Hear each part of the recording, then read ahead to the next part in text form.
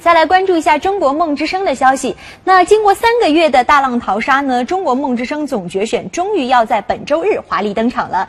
那昨天呢，进入了总决选的六强学员进行了对决前的最后一场粉丝见面会。那虽然还有一周的备战时间，但是每个人心里呢，都已经有了心目中的冠军人选。中国梦之声八进六之后，连续两周没有站在梦之声舞台上的学员们，似乎都有些空虚、寂寞、冷的症状。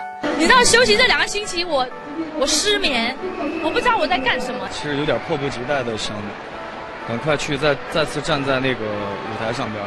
侯磊，别急，距离你梦寐以求的梦想之夜已经进入了倒计时。而这次六强集体亮相是终极对战前最后一次人气试水。从现场看来，李祥祥和 James 的粉丝情绪都激进爆表，侯磊和安澜表拼实力无可匹敌。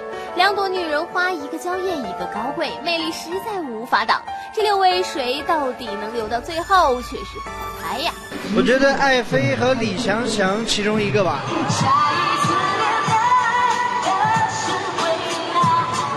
他们两个就属于，就怎么看怎么像偶像啊。那个李翔翔吧。呃，李翔翔。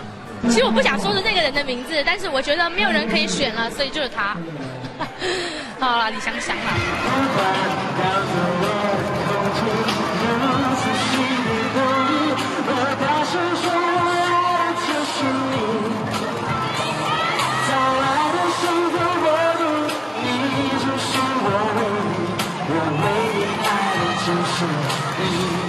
李湘湘成了学院内部众望所归的一位。那么人气王对于冠军人选怎么看？说实话，真的是我们之间没有什么任何竞争的东西，就是就是觉得谁是冠军都是都还好啊。就是我看中侯磊。